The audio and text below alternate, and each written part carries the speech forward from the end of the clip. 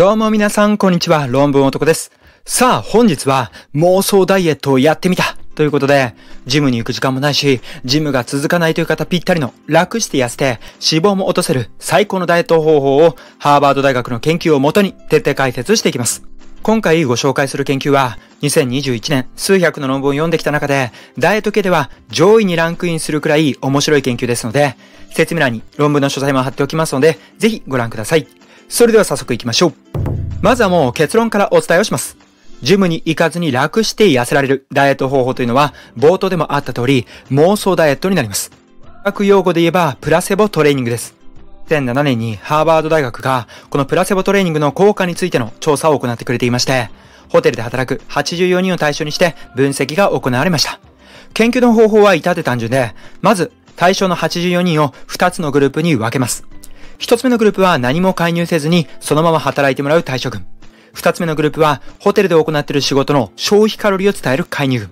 例えば、バスルームの掃除を15分すると60キロカロリー消費するよ、みたいな感じで、この掃除を何分するとこのくらいカロリーを消費するんだよ、みたいな感じのデータを被験者に伝えた群になります。まあ、要は、自分がやってる仕事というのは、このくらいカロリーを消費しているんだということを認識させるのが2つ目の介入群になります。この研究ではホテルの従業員を対象にしていますので、この仕事をすると何キロカロリー消費するんだよって話になっていますが、私たちの生活で言えば、例えばお風呂に30分入っていると87キロカロリー消費をしますし、早足で20分歩くだけでも100キロカロリー消費することが分かっています。これをただ単純に伝えるのと伝えないとで、体重の減り具合や脂肪の燃焼具合は変わるのかを見たという研究です。しかも運動量は変わらずに、それを認識するかどうかで体は変わるのかを見たということなので、これとても面白い研究だと言います。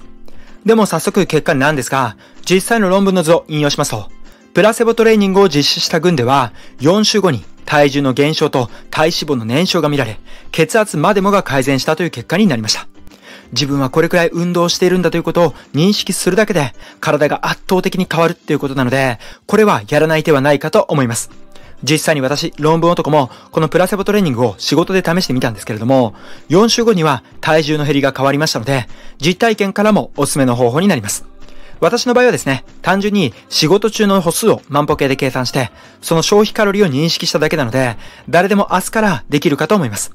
自分の私生活の消費カロリーを認識する。これをするだけで脳と体は密接に関連していますので、基礎代謝量は上がり、痩せれるというわけなんです。そしてこのプラセボトレーニングと相性が抜群なのがニートダイエットです。ニートというのは非運動性熱性差の略で、運動しなくても消費するカロリーのことを言います。もっとわかりやすく言えば、ランニングとかジムに行くんじゃなくて、日常生活の中で運動する量を増やして、消費カロリーを増やしましょうっていうダイエット法がニートダイエットになります。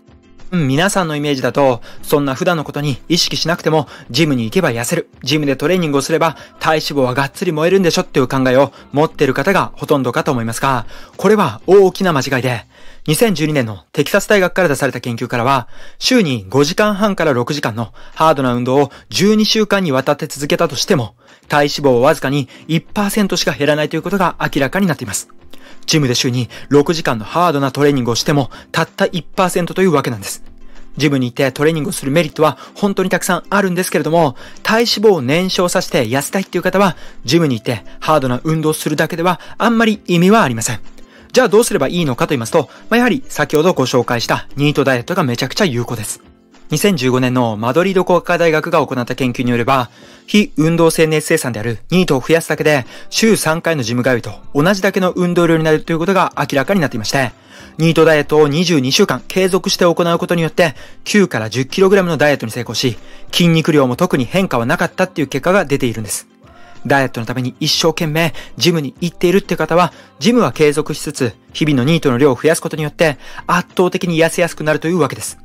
で、このニートダイエットのやり方なんですけれども、これ超単純です。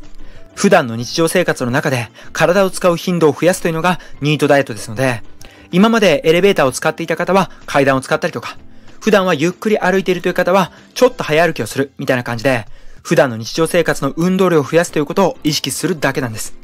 無理に何かを制限したり、努力をしたりせずに、大幅な体重減少が狙えますので、これはやらない手はありません。そして、初めに解説したプラスボトレーニングをニートダイエットに組み合わせることによって爆発的な効果を発揮するんです。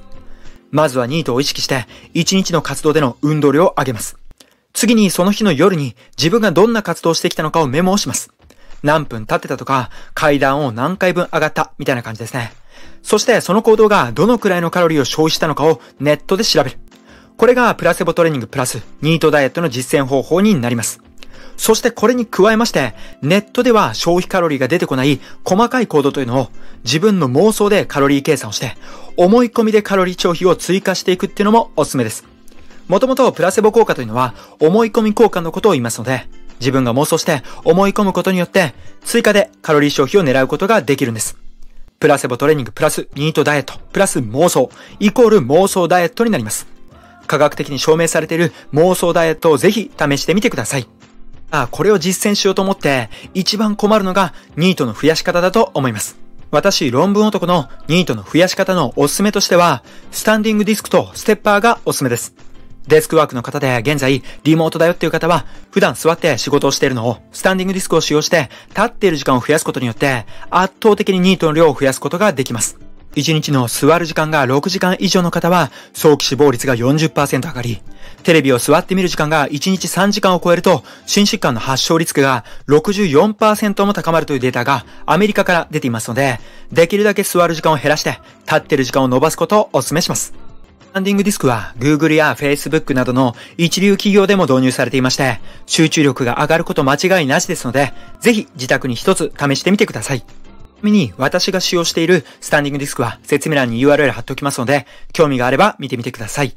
あともう一つおすすめなのがステッパーです。テレビを見るときなんかは、ステッパーを踏みながら見るだけで消費カロリーを爆上げすることができますので、ぜひ試してみてください。家の中でその場でステップを踏むことができますので、テレビを見ながら料理をしながらステップを踏むことができますし、歩数計もついていて何回踏めたこともわかりますので、達成感も味わうことができます。今日はジム行きたくないなとか、外行きたくないなっていう方は、1日5000から1万回ぐらいやると相当な運動になりますので、テレビを見て座っている時間をステッパーで運動する時間に変えてみてください。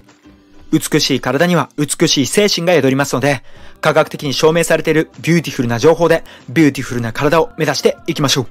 それでは本日は以上です。またお会いしましょう。バイバイ。本日もありがとうございました。このチャンネルでは論文や本をベースとして、生活を豊かにする情報を放送しています。この動画がいいと思ったらグッドボタン、チャンネル登録をお願いします。Twitter でも論文情報を発信していますので、ぜひご覧ください。それでは。